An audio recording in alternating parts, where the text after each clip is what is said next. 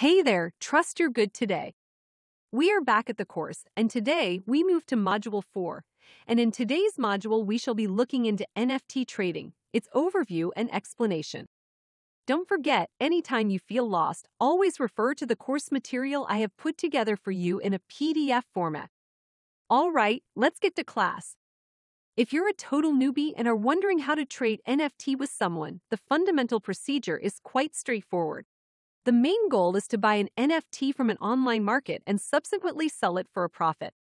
This process is called NFT flipping. You must locate appealing transactions that you think are undervalued to succeed as an NFT trader. For instance, you can come across a well liked NFT collection that has a set price of $200 stated, but you have seen the same token sell for $900 on another market. In a similar vein, auctions offer a ton of NFT trading opportunities. Here, the goal is to provide a price below the NFT estimated value. The NFT can then be resold on a market for a profit. You must first create an account with a compatible marketplace, such as Crypto.com, to purchase an NFT. You will then need to look through the many NFT that are available, and once you find one that you like, you can deposit using ACH, a debit slash credit card, or cryptocurrency. The only remaining steps are to purchase the NFT or make a bid. Lesson 1 The operation of NFT trading. There is no assurance that you will make money when trading NFT.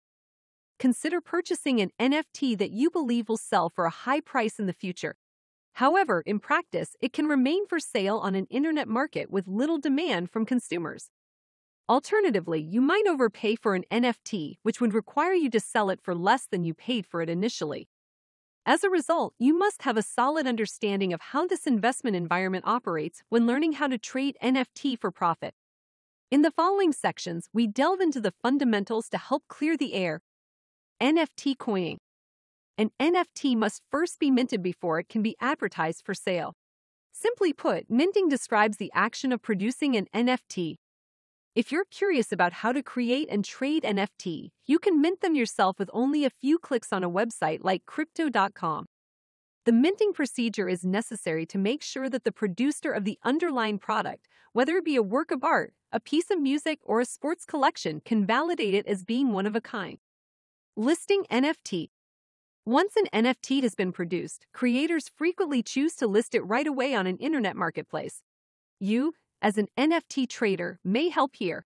Simply said, you'll have the choice to purchase an NFT if you like the way it looks.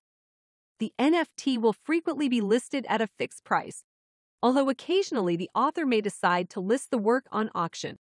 If so, you will have to make a bid exactly like you would at an established online market like eBay. Purchasing an NFT. You can make your purchase once you've decided which NFT you want to swap. For this purpose, a lot of NFT marketplaces only accept cryptocurrency deposits. To finish the transaction instantly, you can frequently attach a wallet like MetaMask to the platform. Some websites, like Crypto.com, allow users to deposit fiat money using ACH and debit slash credit cards. Flipping an NFT. The following stage is trading an NFT after you have successfully purchased it. This refers to putting it up for sale on an internet market.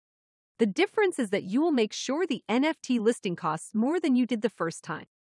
You will only be able to profit from your NFT trading efforts in this way.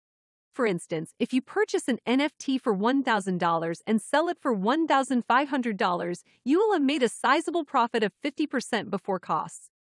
Some NFT designers will include a royalty throughout the minting process, as we briefly mentioned previously. This implies that they will receive a small portion of the sales revenue for each NFT in question. Lesson 2 How to Profit from NFT Trading.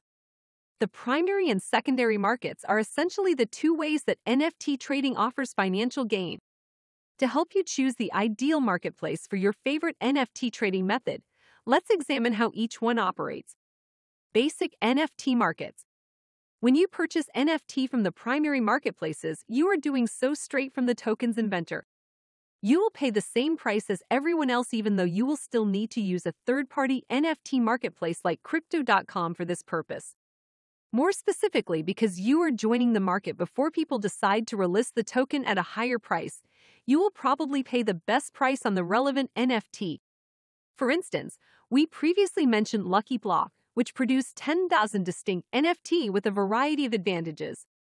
The Lucky Block NFT series, which offers an excellent long-term trading opportunity, is still in the primary sale at $1,500 as of the time of writing.